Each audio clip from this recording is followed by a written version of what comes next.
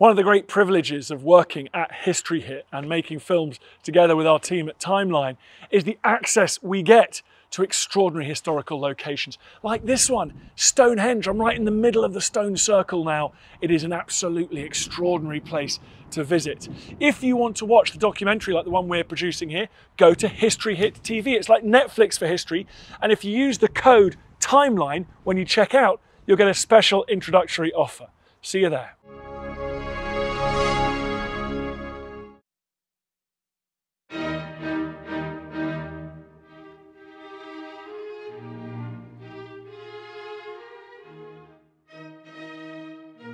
On November the 2nd, 1755, in her Hofburg Palace bedchamber at Vienna, Empress Maria Theresa of Austria gave birth to her 15th child. Her Majesty has been very happily delivered of a small but completely healthy Archduchess, as the court chamberlain put it. The father, Emperor Francis I, was undoubtedly happy as he announced the birth to courtiers waiting nearby.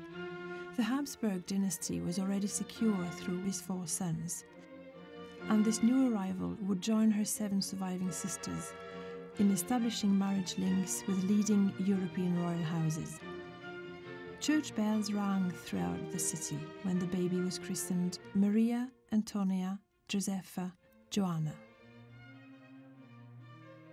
Growing up in a country and court where French was in daily use, and with a father of French royal blood who would speak nothing else, the child became Antoine to her family, and later Marie Antoinette to France and the world.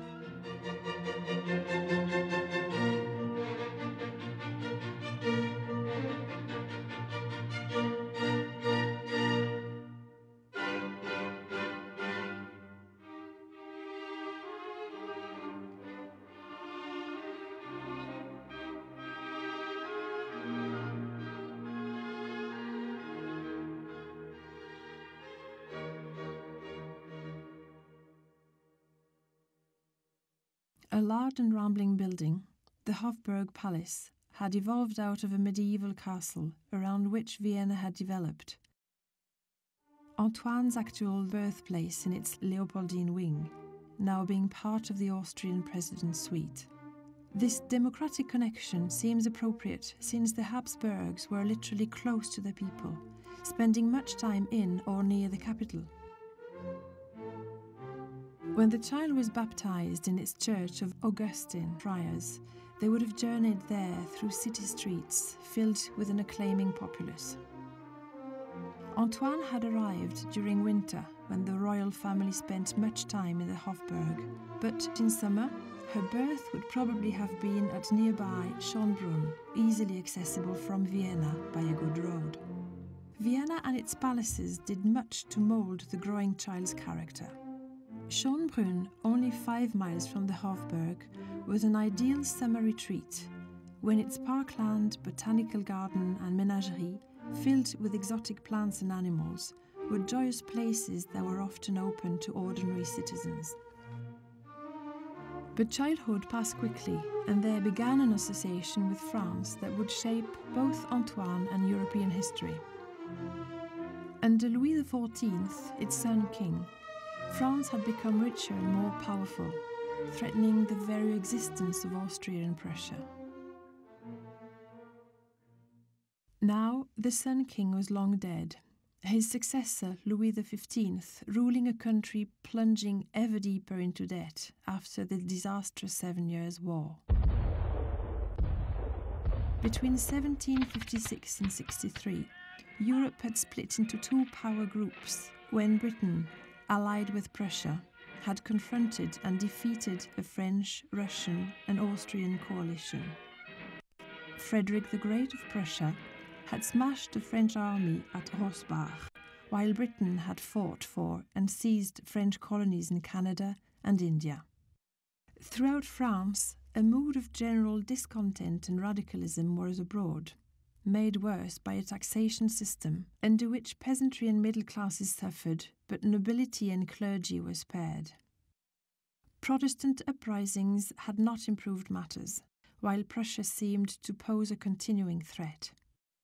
Even though the First Alliance had resulted in disaster, a new Franco Austrian relationship was being sought in which Antoine, later Marie Antoinette, would have a major role to play. Austria regarded itself as different from France, more stable, more serious, and, above all, more aware of the need of its people.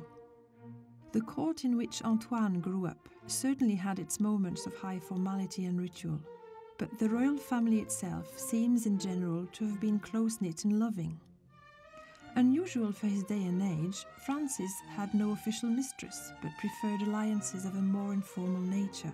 He was happy to have artists portray his family in remarkably casual dress and situation.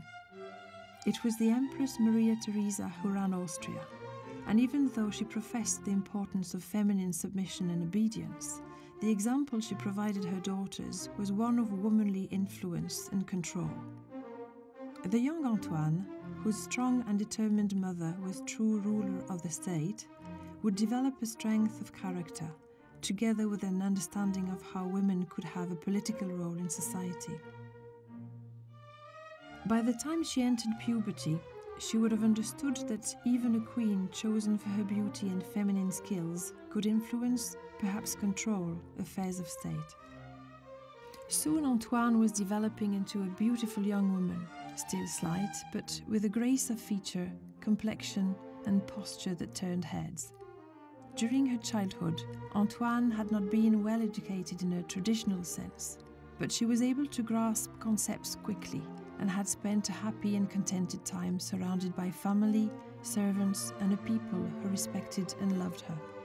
Antoine, now more usually Antoinette, was fortunate enough to remain unaffected by smallpox that could destroy feminine beauty, and with it any prospects of a worthwhile marriage, as had happened to one of her vain elder sisters. As the child blossomed into womanhood, she acquired the necessary feminine attributes becoming accomplished in needlework and music, and a lover of opera and concert. In 1765, Antoinette's father, the Emperor Francis I, died of a stroke at Innsbruck, causing the whole family much grief. The Empress wore mourning black from that time until her death. As Antoinette's 13th birthday neared in 1768, the newly widowed Maria Theresa realized that here was an ideal wife for the Dauphin of France. In spite of some French voices of opposition against such close relations with Austria, it was generally welcomed. At 14 years of age, Louis XV's Bourbon grandson and heir, the Dauphin Louis Auguste, was considered ready for betrothal and what better way could there be of encouraging the burgeoning association than by linking their two royal families through marriage? In the days before photography, personal appearance could only be assessed through portraiture. Soon, messenger and ambassador, shuttling between courts and countries, bearing documents of negotiation, were also carrying hastily completed miniatures and paintings. Arranging a dynastic marriage was not an easy task, but by the 6th of June 1769, agreement was reached and arrangements put in train for the betrothal and wedding that would follow. The expected public image of royalty was one of grandeur and magnificence, particularly in France. Kings and their queens were expected to maintain a mystique, assisted by ostentatious display that reflected their country's wealth and importance. Not only would Antoinette's dowry be huge and the cost of her wedding apparel similarly enormous, but everything about betrothal and wedding would consume incredible sums. Yet both countries had their reputation to consider, and the bulk of French population, although burdened under oppressive taxation, expressed joy at the match. After a wedding by proxy, her brother, the new Emperor Joseph, acting as groom, Antoinette, now officially Marie Antoinette the Dauphine, left Vienna in a cavalcade of vast opulence and luxury. Even travelling was expensive. Apart from all else, many thousands of relief horses had to be readied along the route, one that required weeks of travelling to Versailles. On an island in the Rhine, at the border, she was stripped of her Austrian clothes and dressed in fashionable French court clothes. Later, she was presented to the French King Louis XV. He pronounced her delightful, if still a little childlike in her figure and looks. The young Dauphine was conducted in great state to Versailles, where, on the 16th of May, 1770, wearing a dress of white brocade and adorned with magnificent jewels, the 15 year old bride was married, amidst what appeared to be universal acclaim, to the Dauphin of France, Louis Auguste. Louis Auguste, Marie Antoinette's new husband, was short and square of stature. His already corpulent appearance was straying from his premarital miniatures. His features were considered unhandsome and somewhat coarse, although he possessed a simple but good natured disposition. Louis's great passion was for hunting, and he spent most of his time away from the court and his new queen. During these early years, Louis failed to consummate the marriage with the young and beautiful Marie Antoinette. This failure possibly from painful shyness and possibly due to an anatomical condition, caused much salacious gossip at Versailles and in Paris. For Louis Auguste, there were no extramarital relationships, quite unlike his grandfather, Louis XV, still a handsome man in his 50s and notorious for his promiscuity. His mistress, Madame du Barry, resided at Versailles in this highly organized royal world, the king's mistress was an important feature, acting as an intermediary between courtier and crowned head, to be approached when favours were requested, or blamed if none were forthcoming. During the next four years, Marie Antoinette was not a queen, but a young and somewhat frivolous dauphine. Her Austrian training and temperament made her contemptuous of elaborate, even bizarre, Versailles ceremonial and already she was making enemies, notably the mistress of the king, Madame du Barry. The young bride's seeming extravagance was also remarked upon, as was the fact that she meddled in politics, particularly any in Austria's favour.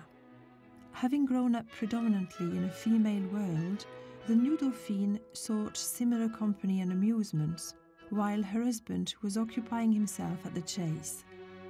Marie Antoinette would find refuge and friendship amongst a coterie of attractive young women. She was often in the company of Louis's sisters, the Mesdames Adélaïde, Victoire, and Sophie. They formed a faction against the incredible power of Madame du Barry and watched over the Dauphine, involving her in their plots. This, along with her friendship with other young courtiers, coupled with knowledge of Louis's sexual disability, further inspired the salacious gossip. Her one constant friend was Marie, the Princesse de Lamballe, whose gentle and naive manners contrasted markedly with the scheming nature of other court ladies. She became Marie Antoinette's companion and confidante. This close relationship led to further gossip about the nature of their friendship. Certainly, the Dauphine was extravagant and loved finery and ostentatious displays of jewelry, but this was expected of her position. In contrast, her spurning of Versailles ceremonial, together with serious attempts to establish some fiscal order, aroused resentment and made enemies. Yet, seeds of revolution had already been sown even before Marie Antoinette arrived at Versailles. Once mighty, France was now facing economic and financial ruin. But in royal palaces, isolated from the real world, an expensively flamboyant way of life continued. This was not Austria, where common people could wander through the emperor's gardens, but a divided society whose upper, middle, and lower classes generally detested each other. No matter how appalling were conditions outside palace walls, where peasants were taxed to starvation levels and even the middle classes suffered. Within was luxury beyond belief. The developing rift between monarchy and populace was not helped by the fact that Versailles was isolated in every way from the country's main city, Paris. totally unlike royal residences such as those of Vienna and London.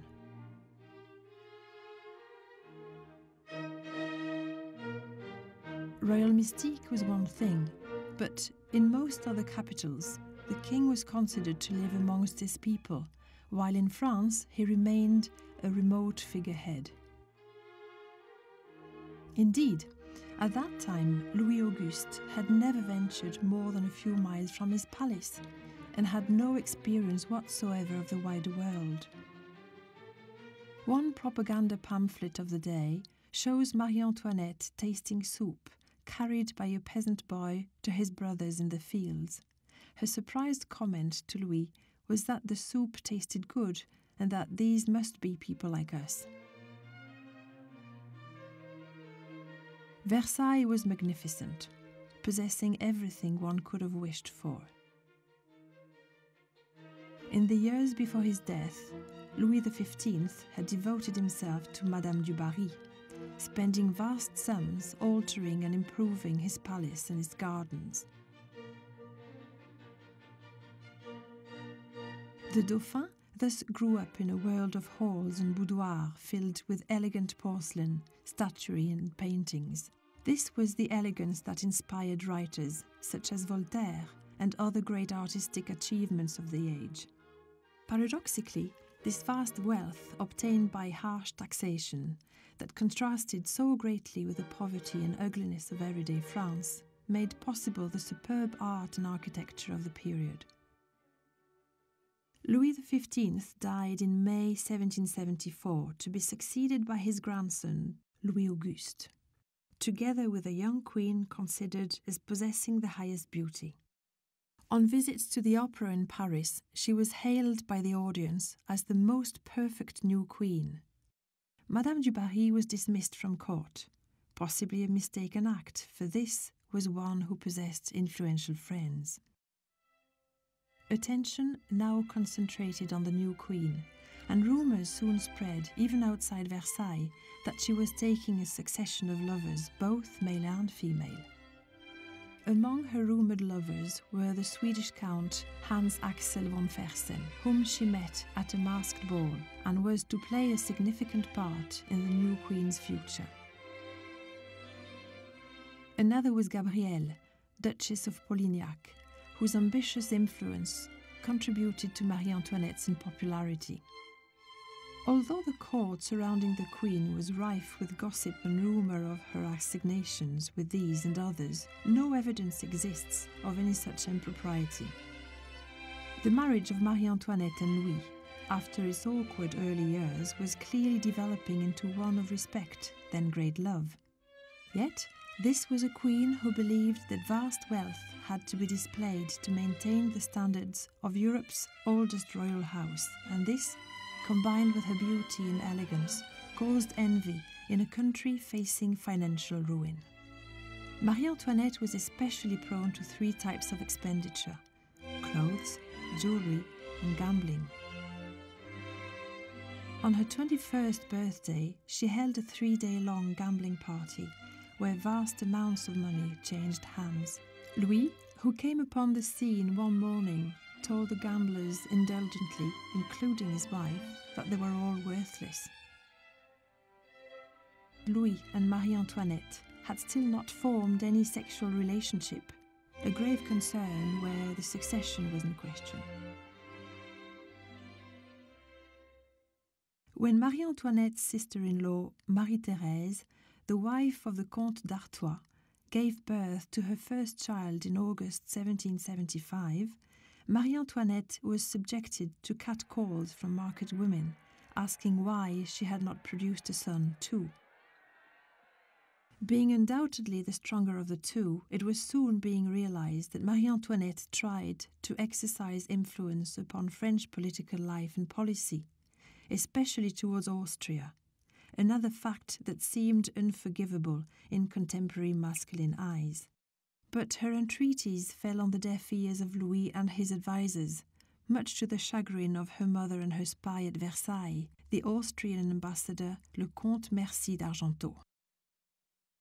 In April 1777, Joseph, Marie Antoinette's brother, paid the court a visit incognito to avoid any expense. He walked for a long time with his sister in the gardens of Petit Trianon. There, he criticized her gambling and expensive tastes. But his main concern was the lack of an heir, and on being told of the king's inabilities, he proceeded to talk in private with Louis. The result of this intercession was the birth on the 19th of December, 1778, of Marie Antoinette's first child. As was the ancient custom at Versailles, the labour and birth were extremely public, with many courtiers and princes of the blood having the right to witness the birth. Unfortunately for the succession, the baby was a girl, Marie Thérèse Charlotte, la Madame Royale. At least now there was the possibility of a dauphin, although the paternity of the child was curiously attributed to the Comte d'Artois, Louis's brother. Marie Antoinette's love for music had much influence in French society. She introduced the fashion for female harpists in Western Europe. One who was brought to Versailles at the Queen's request was Joseph de Boulogne, the Chevalier de Saint Georges. Son of a Caribbean plantation slave and a French aristocrat, the prodigious Joseph was brought to Paris and excelled at everything he undertook, sporting and academic. He had a reputation as a preeminent swordsman, which ensured his safety in a rabidly racist French aristocracy. He also had another reputation as a black Don Juan, attracting many of the female aristocracy with his handsome and exotic looks. But the Queen was interested in his musical abilities. He had composed many concertos and quartets of great beauty for, amongst other instruments, the harp. She went so far as to press for his nomination as artistic director for the Paris Opera. This campaign came to nothing in the face of opposition from the female singers there. Their objection was to his colour. However talented Saint Georges may be, his advancement was blocked by his being a mulâtre, a half breed, a situation that would influence his choices in the future. Early in 1779, he became Marie Antoinette's music teacher, an arrangement which was criticized by many at court. How far their relationship went is not known, but one night that spring, he and a friend were attacked by a gang of six men in a Paris street. They held off their attackers until a police patrol came on the scene and arrested the gang. Later, the assailants were released without charge as they were members of the Versailles Secret Service. Someone in power at court wanted Saint Georges dead. Saint Georges continued as a confidant of the Queen and became my favorite American, according to her diaries. In the future, the Chevalier's life would have a quite different effect on that of the Queen. The Queen's impact upon style and fashion, even garden design, must not be forgotten. French colonial territories had introduced exotic plants to the country, and at Marie Antoinette's behest, many of these would appear at Versailles Louis XVI made a gift of the small palace of Petit Trianon to Marie Antoinette on his accession to the throne. The palace, which bordered on the grand formal gardens of Versailles, formerly belonged to Madame de Pompadour, another of Louis XV's mistresses, and it was there that Louis probably whiled away many a delightful hour. Marie Antoinette now made it her own. How delightful were these groves scented with lilacs, peopled by nightingales. The Queen spent most of the fine season there.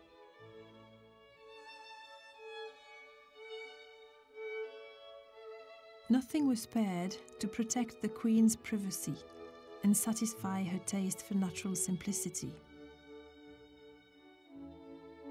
Her own boudoir was created to exacting standards, furnished with light and natural fabrics.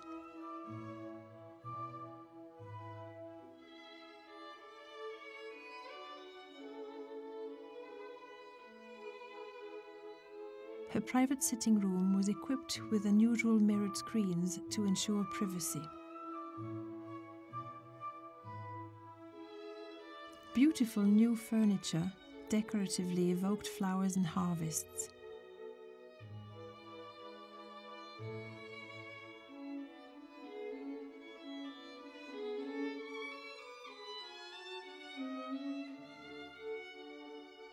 And everywhere her monogram was included in the decor.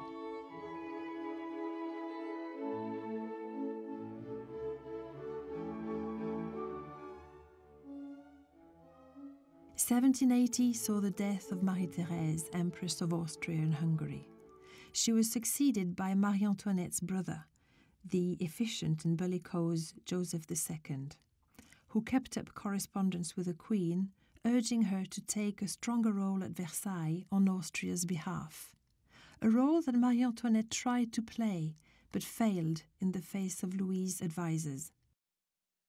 In 1781, Marie Antoinette bore her second child, and this time to the great relief of the aristocracy and the jubilation of at least some of the population, a dauphin was born, named Louis Joseph.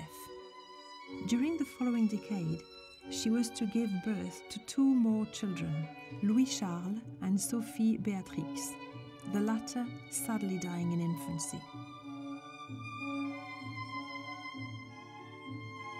By 1783, the Queen had replaced the formality of gardens surrounding Petit Trianon with vistas of fantasy based on classical antiquity and romanticism. Inspired by happy memories of the Austrian palaces and gardens and the rural idylls where she had been happy, she had built Le Hameau de la Reine, the Queen's hamlet, following the fashion for rustic simplicity with idealized cottages and gardens.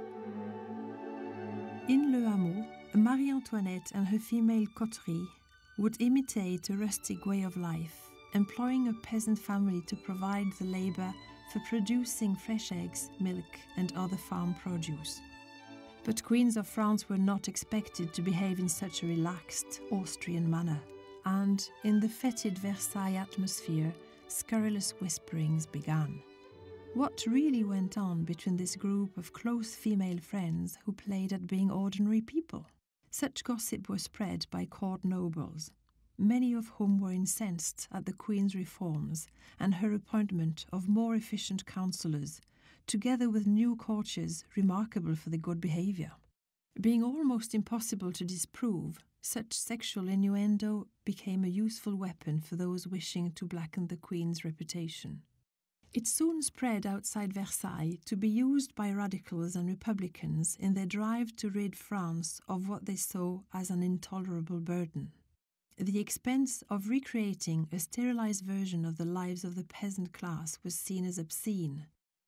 By 1785, underground literature was circulating, reviling the Queen in pamphlet cartoon and pornographic song. She became La Poule d'Autriche, the Austrian hen and Madame Deficit. It was probably inevitable that France would eventually become a republic, especially since the country had recently assisted England's American colonies to throw off its monarchy. Benjamin Franklin had visited Versailles and was received by the royal couple to ratify the Franco American Treaty. American independence had later been guaranteed by the Treaty of Paris in 1783. These were events that inspired much thought and discussion throughout the nation. The king's attempts to reform government and levy tax on those who had formerly paid nothing grossly affronted vested interests. Finance Minister Calonne called a great assembly of notables at Versailles to discuss matters and propose a uniform land tax, but the bulk of his and royal proposals were rejected. Bitter quarrels ensued between king and parliament, while the country continued its descent into bankruptcy. Who could be blamed? Under its monarchy, France seemed to be failing, losing much of its international status and it appeared to many that only an entirely different system of government would improve matters. The king, although well intentioned and weak, was already suffering bouts of severe depression he attempted to alleviate by consuming large amounts of alcohol, while Marie Antoinette, already the Austrian bitch, continued as a focus for common hatred. At a time of failing harvests and damaged economy, when wheat and bread were rising in price and increasing burdens of taxation placed upon those who would least afford it, both aristocrat and radical thinker were representing Louis and his expensive foreign queen as being ultimately responsible. Opposition to the established order began not amongst the ordinary people but with aristocracy, church, and the middle classes, the bourgeoisie. Seeking to alter the system in their own favour, noble and bourgeois would unleash a monster that would destroy their world. A succession of finance ministers, backed by Louis and Marie Antoinette, had attempted to introduce reforms, but their failure only made more obvious how weak was the king's real authority.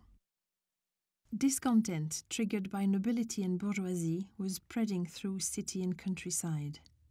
Bad weather had cut crops by half, causing food prices to rise sharply and bringing starvation that radicals could blame upon the monarchy and in particular Marie Antoinette. This gave rise to the false accusation that she had once exclaimed on being told of the shortage of bread, Qu'ils mangent de la brioche. Let them eat cake. Thousands of beggars thronged Paris streets, while in the rural areas desperate gangs roamed and robbed to such an extent that even the authorities feared confrontation or applying the law. In May 1789, a desperate king recalled the Estates General, the governing parliament of France. This assembly, consisting of three classes or estates, hadn't been called since 1614. The first estate, the clergy, whose members were mostly aristocrats, and the second estate, the aristocracy, formed a rigid block to any aspiration promoted by the third estate representatives of the bourgeoisie and the peasants. By June, the Estates General had decided nothing, so the Third Estate decided to convene its own assembly. Having been locked out of the assembly rooms by the king, they met in a tennis court in the town of Versailles and there proclaimed themselves the National Assembly of the People, swearing to stay in session until the French people had a constitution. Two individuals attended who would make their own special impact upon the looming revolution a lawyer from Arras, Maximilien Robespierre, and one Dr. Guillotin. On June the 4th, the Queen's world was shaken to its foundations. Her son, Louis Joseph, the Dauphin, died after long suffering from consumption. Her younger son, Louis Charles, gained the ill fated title of Dauphin de France. On July 11, 1789, King Louis, acting under the influence of Marie Antoinette and the conservative aristocrats of the Privy Council, banished the reformist finance minister Necker and completely restructured the ministry. Much of Paris, presuming this to be the start of a royal coup, moved into open rebellion. Some of the military joined the mob, others remained neutral. The anger of the lower classes had come to a head. Paris exploded into open revolution, led by those who could not afford the knee breeches or culottes of fashionable aristocracy and bourgeoisie, the sans-culottes. Gunpowder was known to be stored in the Bastille, a fortress prison long a symbol of royal authority, which, on July the 14th, was attacked and seized, its few prisoners were released, and Governor Bernard Delaunay was killed. His head was severed by a reluctant butcher using a small knife. On hearing the news of the Bastille, Louis asked whether this was a revolt. One of his ministers answered, No, sire, this is a revolution. The mob targeted figures of hate, such as tax officials and corrupt politicians. They searched out any suspected of harbouring royalist sympathies and hunted them down, hanging them from lampposts. À la lanterne! becoming one of the most feared cries of the revolution. Many figures of hatred were so treated, amongst them many innocents, some being horribly mutilated, hearts literally torn from bodies, and heads paraded on pikes through Paris streets. A price was put on Marie Antoinette's head. In an attempt to control the mob and guide it, a new city governing body, the Commune, was established. As news of the Bastille's storming and seizure spread, amid rumours of aristocratic violence, peasants throughout the countryside took arms, overturning the feudal system, killing landowners, burning chateaux, and destroying whatever they could find, especially books, papers, and records. The royal family's already precarious position was further threatened on August the 4th when feudalism was abolished, depriving the clergy and aristocracy of their privileges and riches. On the 26th, the National Assembly made the Declaration of the Rights of Man and the Citizen. The people of France had installed a new, if somewhat turbulent, regime. Marie Antoinette's thoughts turned to a counter revolution and persuaded Louis, with the help of his ministers, to order a regiment from nearby Flanders to strengthen the royal bodyguard at Versailles. In itself, that caused little problem, but the traditional banquet given to its officers on arrival would prove explosive. Normally, the royal couple would not have attended, but their appearance on this occasion caused wild cheering and protestations of loyalty.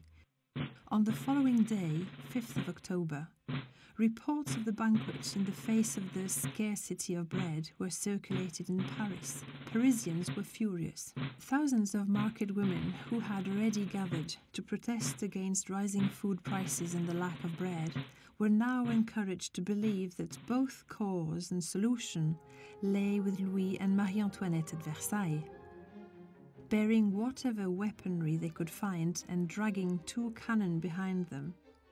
They marched out of the city towards the royal palace. That night, at first, walls and gates defended by loyal troops protected the royal family, but a gate was forced open and soldiers killed, others surrendered. The mob rushed into the royal apartments, a soldier's pike impaled head carried before them as a grotesque banner. Knowing that she was the most unpopular member of the royal family, Marie Antoinette decided to sleep on her own that night. There can be no doubt that she would have been torn to pieces had not a brave guard at her bedroom door cried out a warning before he was also butchered and his head impaled. The few seconds of grace provided by his warning allowed the Queen to escape and the shrieking mob, finding her bed empty, slashed it to ribbons in disappointment. Somehow, Louis and his queen survived the night under the protection of loyal guards. The next morning, when ordered by the mob to appear before them and told he must go with them to Paris, the king replied, He is ready to do whatever his good people wish him to do. Marie Antoinette's presence was also demanded, and so she stepped with her children onto the balcony to face screamed threats and levelled muskets. The crowd shouted for the children to go back in, and so, with her life hanging on a thread and showing little fear, Marie Antoinette stood alone before the mob for almost ten minutes. Finally, she bowed her head and returned inside. Some of the crowd were so impressed by her bravery that cries of Vive la Reine were heard. Later that day, and surrounded by the victorious mob, the royal couple were taken by coach the 12 miles to Paris. At the city gate, its mayor greeted them formally and with courtesy, to which Louis replied, It is always with pleasure and confidence he found himself in that good town. Versailles was left behind, replaced in its function as capital of France by Paris. A major crisis had passed, King and Queen had survived and now had to make a life for themselves and some of the court at the dilapidated Palais des Tuileries in the centre of Paris, under the protection of both the National Republican Guard and their own Swiss guards. The Marquis de Lafayette, who had fought alongside the Americans during the Revolution, was placed in charge of royal security, bluntly telling Marie Antoinette, Your Majesty is a prisoner. It was during their stay at the Tuileries that Catherine the Great of Russia wrote to Marie Antoinette, telling her that the family should ignore the complaints of the people, as the moon continues on its course without being hindered by the cries of dogs. But in public, the Queen reacted in a more restrained fashion, contributing to charities in aid of orphans and foregoing the traditional gift of diamonds to her daughter, the Madame Royale, on the occasion of her communion. Such was the intense hatred of the Queen by now that she had to attend the communion in disguise. Although the king still hoped for his authority to be reinstated, and he had some backing from National Assembly members, such as the Comte de Mirabeau, he surrendered himself more and more to depression, lethargy, and alcohol. The task of salvaging the royal situation fell to Marie Antoinette, who secretly corresponded with Mirabeau in his efforts to restore the monarchy. With Louis's agreement, the Queen now started to seek aid from foreign monarchies, notably Charles IV of Spain, whose answers were evasive, and her brother, Emperor Joseph II of Austria, but he died in February 1790. Hope of compromise between the royals and the revolutionaries diminished when, on July the 12th, 1790, the Roman Catholic Church was subordinated to the National Assembly. Marie Antoinette commented to a courtier, The Church, the Church, we're next. On the 14th, the royal family was forced to go to the Champ de Mars to attend the great popular celebrations of the anniversary of the fall of the Bastille, an event, according to the Queen, that symbolized everything that is most cruel and sorrowful. Philippe Égalité, Duc d'Orléans, returned at this time from hiding in England. A liberal and libertine member of the aristocracy, he espoused revolutionary sentiments in the hope that he might become king in Louis's place. Differences between royal and other factions steadily increased. Yet Louis still believed he could fulfill his destiny and regain control, even if it was with the help of the foreign intervention being urged by Marie Antoinette she kept up correspondence with Austria, ruled now by another of her brothers, Leopold II, in the hope of gaining his aid in overthrowing the revolution. France was clearly under threat as Prussia and Austria began resolving the differences. But any attack they mounted against France would certainly place its royal lives in danger.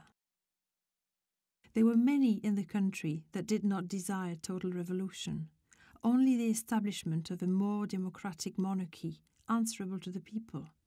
And for the moment, Louis and Marie Antoinette seemed safe. By 1791, the Queen felt more and more isolated. Emperor Leopold II of Austria was far more liberal in his outlook than his bellicose brother Joseph. He evaded demands of aid from Marie Antoinette. When social unrest first began and cries against Louis and Marie Antoinette increased, it had been urged they take flight to some other country, an action quite possible from Versailles, but far more difficult from the centre of Paris. The Comte de Mirabeau had hoped that a compromise between the monarchy and the Assembly could be achieved. To that end, he proposed that the monarch should not look to France's enemies for help, but travel openly to a loyal Rouen where they would be safe and able to negotiate from a position of some strength. This proposal might have worked. Had not Mirabeau died suddenly a short time later, some said from revolutionaries' poison, the outcome could have been very different. It must have then seemed to Louis that his choice lay between accepting a toothless monarchy, alien to his upbringing, or escaping to where he could begin re establishing control. Almost certainly, it was Marie Antoinette who persuaded him the latter action was by far the better. By early June 1791, all had been arranged by Count Axel Fersen, the Queen's Swedish favourite and lover. It was planned that on the night of June the 20th, King and Queen, together with their son and daughter, would disguise themselves before entering an ordinary cab that would take them to a carriage waiting outside Paris walls. Loyal cavalry readied along the route would then escort the royal party to a fortress town within easy reach of the Prussian border. At first, in spite of delays caused by problems with the heavy and slow moving vehicle, all seemed to be going smoothly. The expected cavalry did not arrive on time, and even their movement across country in such numbers aroused suspicion amongst Republican factions. At Saint Menehould, Louis descended from the coach to exercise while its horses were changed, only to be observed by the postmaster, Drouet, who recognized the king from his image on coins. By the time Varennes was reached, not only had a pursuing Drouet raised the alarm, but the local population had persuaded waiting cavalry to break their oath of royal allegiance. Taken into a room over a grocer's shop, Louis admitted he was, in truth, the king. With the words, France no longer has a king, Louis and his family, now in a state of much distress, left the humble grocer's room and began their return to Paris. Surrounded by hostile crowds, jeered at and spat on in villages through which they passed, the royal family's journey proved a nightmare from which they did not expect to escape alive. The Commune in Paris decreed that no one was to insult the king on his return on pain of death. Arriving in Paris, the coach moved slowly through streets filled with vast and silent crowds held back by armed soldiers. At the Tuileries, the mob broke through the cordon, savagely attacking the guards, but Louis and Marie Antoinette escaped into the palace. Coupled with the knowledge that the Queen was regularly corresponding with Austria, she would later be accused of betraying French military plans, the flight to Varennes sealed the royal couple's fate. Yet there was still some hope, even though Louis and Marie Antoinette now suffered true imprisonment, with guards multiplied and almost every moment of their lives and every action subjected to scrutiny. Soldiers were even posted in royal bedchambers, and the Queen forced to dress and undress under their gaze. Royal remoteness and privacy had given way to close and offensive public scrutiny. Royal officers were deserting in large numbers, while middle class supporters and members of the nobility were fleeing the country, often to England. Demands for the rights of the people were being heard everywhere, the king and queen, now regarded by so many as little more than traitors who would have employed foreign forces against the revolution. Yet there was still a majority in the National Assembly desiring peaceful settlement. Others feared the international wrath the royal couple's death could bring. The beginnings of a monarchist counter revolution had begun in Brittany and in the Vendée. Austria and Prussia continued to threaten French borders, both these events would hasten Louis and Marie Antoinette's end, while they lived the revolution was endangered. Jacques Pierre Brissot drafted a petition insisting that, in the eyes of the nation, Louis XVI was deposed since his flight to Varennes and demanding that France become a republic. On July the 17th, an immense crowd gathered in the Champ de Mars to sign the petition. Georges Danton and Camille Desmoulins gave fiery speeches. Under the orders of the National Assembly, Lafayette and the National Guard tried to disperse the crowd but were met with a barrage of stones. Bailly, the mayor of Paris, ordered the guards to fire into the crowd, killing at least 50. Following the massacre, radical clubs such as the Jacobins and newspapers such as Jean Paul Marat's L'Ami du Peuple were closed down. Danton fled to England. Desmoulins and Marat went into hiding.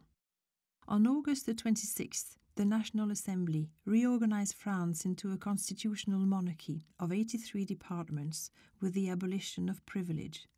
A new metric system of weights and measures was introduced, and the royal fleur de lis was removed as the national flag, its replacement the tricolor showing the colors of the revolution. The next day, Prussia and Austria signed a declaration that they would invade if the assembly was not dissolved and Louis XVI was not restored as full monarch. But this ruse only added weight to radical extremist arguments for war. On the 13th of September, Louis was persuaded to recognize the constitution. The king addressed the assembly and received enthusiastic applause from members and spectators. France was set to become a true constitutional monarchy. But within months, a new elected assembly dissolved. This was due to factional disagreement and the king's royal veto, heavily influenced by Marie Antoinette, who gained another epithet, Madame Veto. The noises of war were heard from the monarchies surrounding France. To the fore was Austria. The Austrian bitch was hated even more, if that were possible. Now she became the female monster. Louis, urged by Marie Antoinette, supported the idea of war with Austria. At worst, if France won, it would boost their failing popularity. At best, if France lost, they could be freed from the revolution. On the 20th of April 1792, France declared war on Austria. Prussia allied itself with Austria, and the French Revolutionary Wars had begun. The French forces fared badly early in the war, being forced back within their frontiers.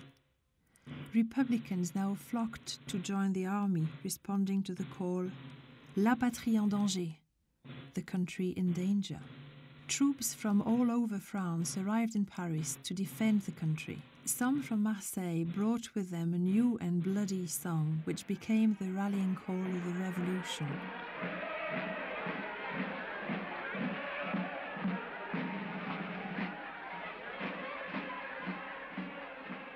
Five days later, Nicolas Jacques Pelletier, a common highwayman, became the first person to be executed in a new way inaugurated by the National Assembly and promoted by Dr. Joseph Ignace Guillotin as a humane, egalitarian form of execution. The National Razor, or Madame la Guillotine, as she came to be known, was born. On the 3rd of August, a threat was made by the Duke of Brunswick, head of the Prussian army, inspired mainly by Count Fersen, to burn Paris to the ground if the royal family was harmed. This served only to inflame Republican hatred of Marie Antoinette and the king even more. Defeats on French soil caused near panic in the streets of Paris. The Republican pot was at boiling point. On the night of the 9th of August 1792, the Sans-Culottes of Paris installed a new revolutionary Paris Commune at the Hôtel de Ville. The revolution's leaders, Maximilien de Robespierre and Georges-Jacques Danton, amongst others, decided finally and suddenly to get rid of the monarchy. In the early hours of the 10th, huge masses of soldiers in sans-culottes began moving towards the palace, then protected by some 800 Swiss guards and about double that number of the Garde du Corps, the king's French bodyguard. Woken by the city bells when the attack began, Louis revealed only indecision and weakness, while Marie Antoinette acted with determination and strength. Louis went down to his troops, both Swiss and French, to show some leadership, but he cut such a desperate figure that many of the French troops started to abuse him and he returned to the palace. Many of the Garde du Corps went over on the attacking side. When the mob forced its way into Tuileries grounds, shrieking hatred, kill the fat pig, being but one of the imprecations heard, the king's nerve crumbled. Inside the Tuileries, the Swiss guards fought bravely, but in isolated groups under no cohesive command or control. When called upon to lay down their weapons, one Swiss shouted, We fight to the death! a cry that would prove prophetic.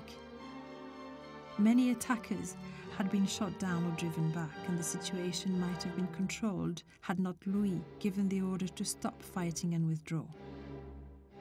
Marie Antoinette urged the king to act firmly and issue proper orders for defense, but in spite of this, he and his family decided to abandon both palace and his loyal troops and instead seek refuge with the National Assembly not far from the palace. They left many of the nobles and ladies of the court to face the attack. These fateful acts finally ended all royal authority.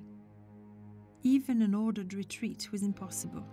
As defenders' ammunition ran out, there followed a bloodbath with surviving Swiss guards and their wounded, together with aristocratic courtiers and defenseless royal servants, being literally hacked to pieces, their heads stuck onto pikes. However, the ladies of the court were not touched by the mob. We do not kill women, cried one. The carnage was immense. Over 1,000 died that day. The palace was ransacked and pillaged. Marie Antoinette's dresses were divided amongst the crowd and sported along the streets of Paris. Any gold or valuables were scrupulously taken to the assembly. They now belonged to the people. Following the Tuileries massacre, the royal family suffered imprisonment in the assembly until the 13th of August, when they were removed under heavy guard to the Temple, an ancient fortress then a prison. Although in conditions of relative comfort and provided with servants and cooks, all were treated with incivility by the guards and contempt from the many citizens who visited daily to shout epithets such as, We shall strangle the two cubs and the fat pig.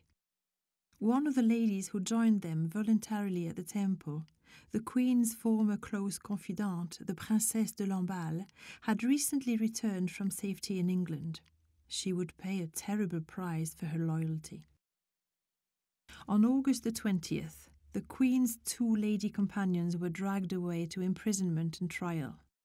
The events at the Tuileries were but a foretaste of what was to come.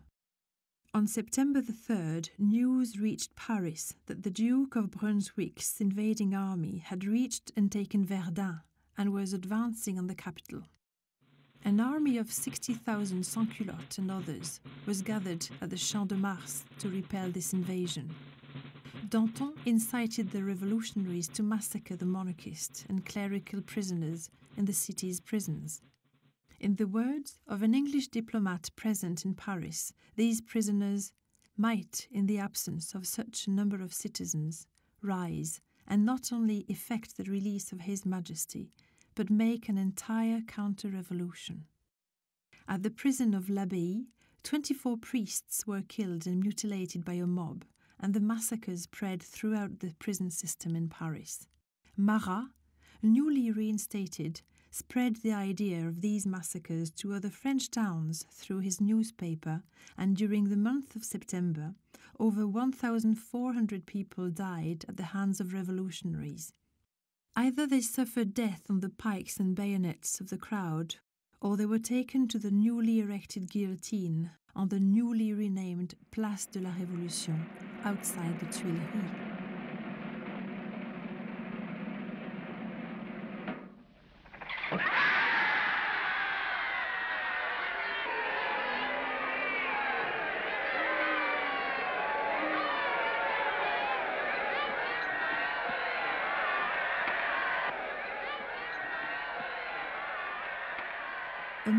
Those killed with the Princesse de Lamballe.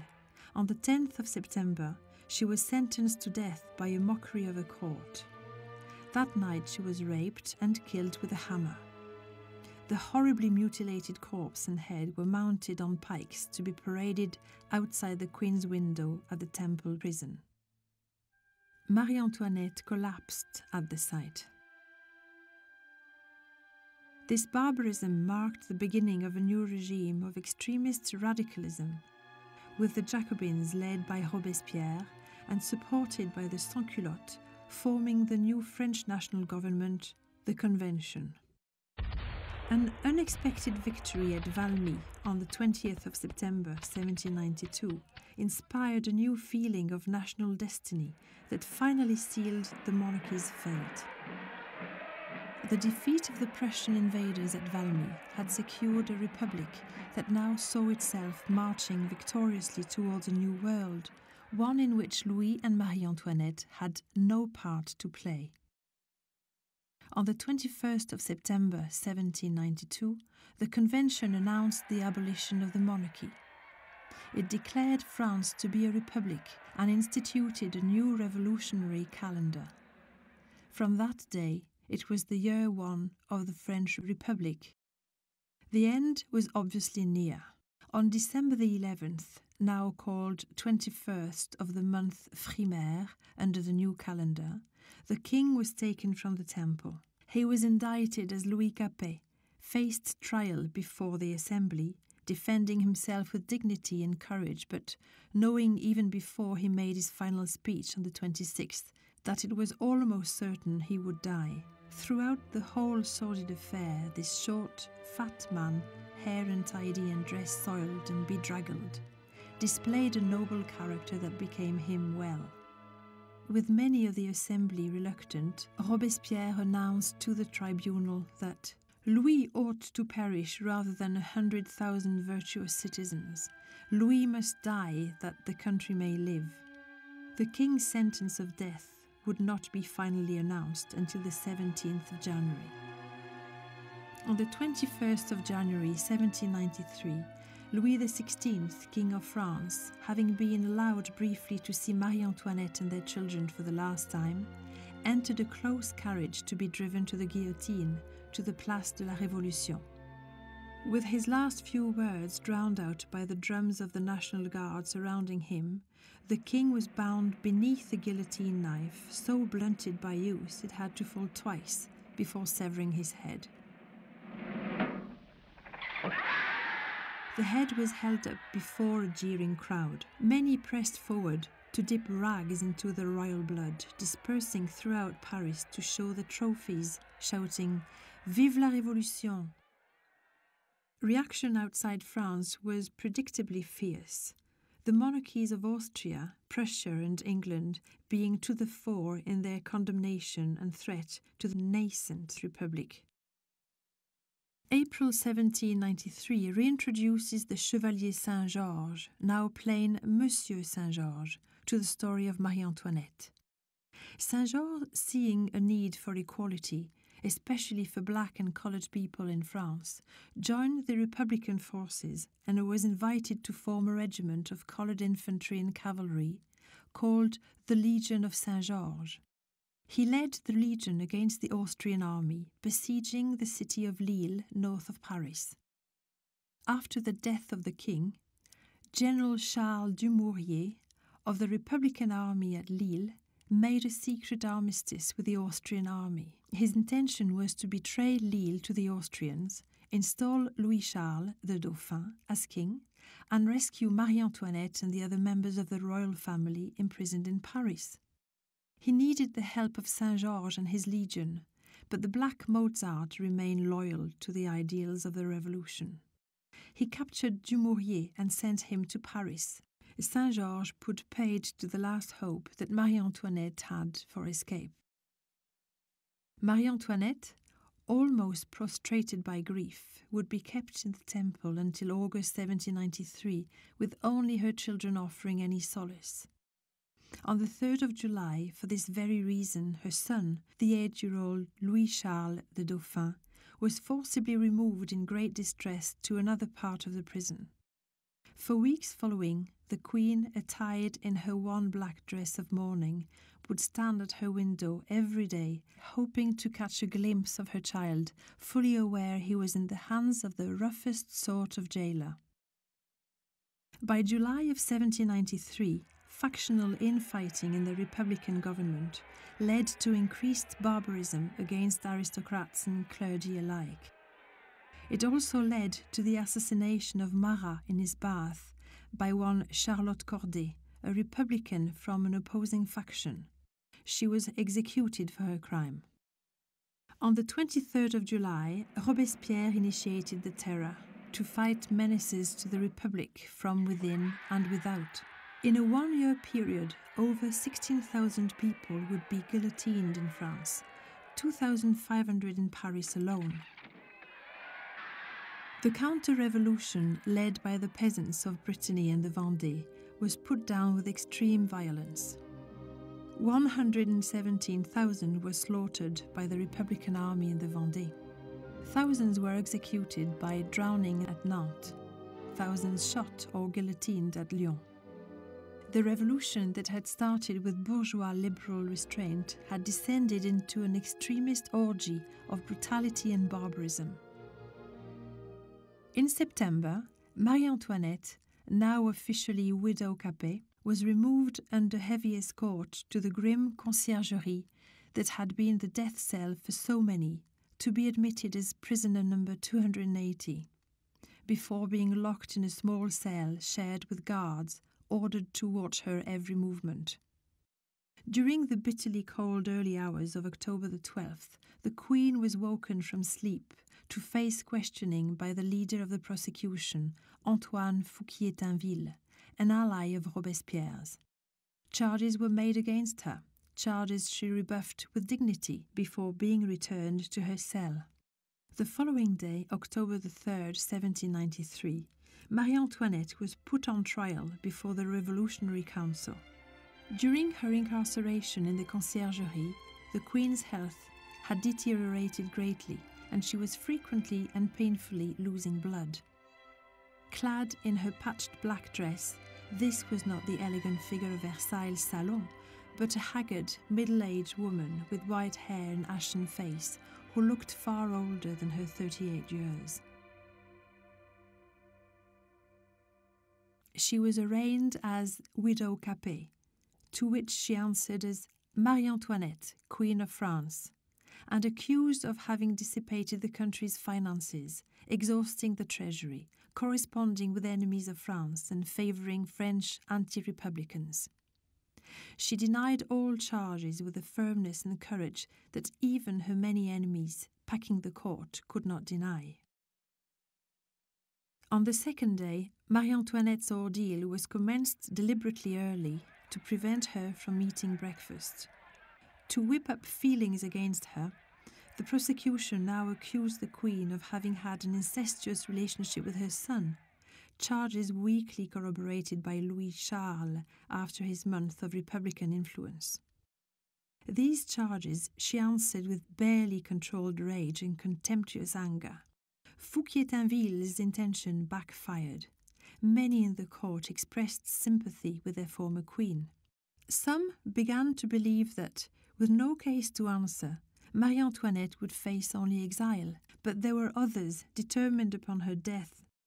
And the jury, influenced by Robespierre and other anti monarchists, would find the queen guilty and sentence her to be executed by guillotine Early in the morning of the 16th of October, 1793, Marie Antoinette wrote her last letter to her sister in law, the Madame Elisabeth. Je viens d'être condamnée, non pas à une mort honteuse, elle ne l'est que pour les criminels, mais à aller rejoindre votre frère.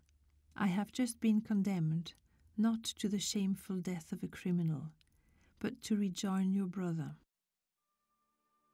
Republican vindictiveness continued to the very end. Later, that same morning, Marie Antoinette's hair was hacked off, ready for the guillotine, and she was forced to strip under the guards' close scrutiny. Dressed in shabby white that shows stains and prison dirt, and with hands bound behind her like a common criminal, Marie Antoinette was granted no close carriage like Louis, but pushed into an open tumbril in which she was dragged through jeering crowds to her execution. It was said that to the very end the Queen displayed courage and dignity. When an attendant priest murmured, Courage, Madame, Marie Antoinette replied, When all my ills are about to end, my courage will not fail.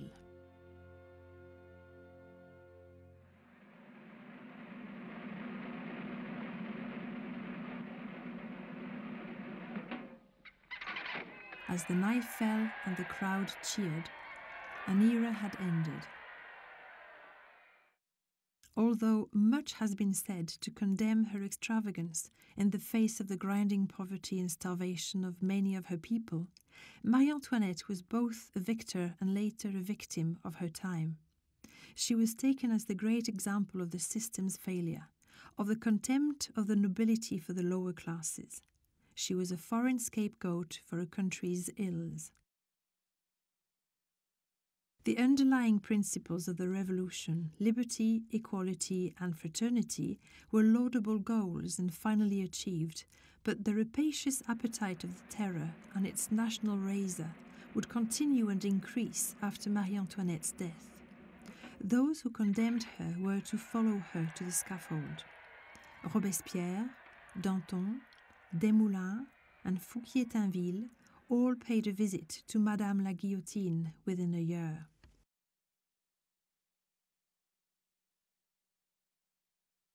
During the early years of the next century, the bodies of both Louis and Marie Antoinette were exhumed from their pauper graves and reinterred in the traditional resting place of the Bourbon royalty at the Basilica of Saint Denis in Paris.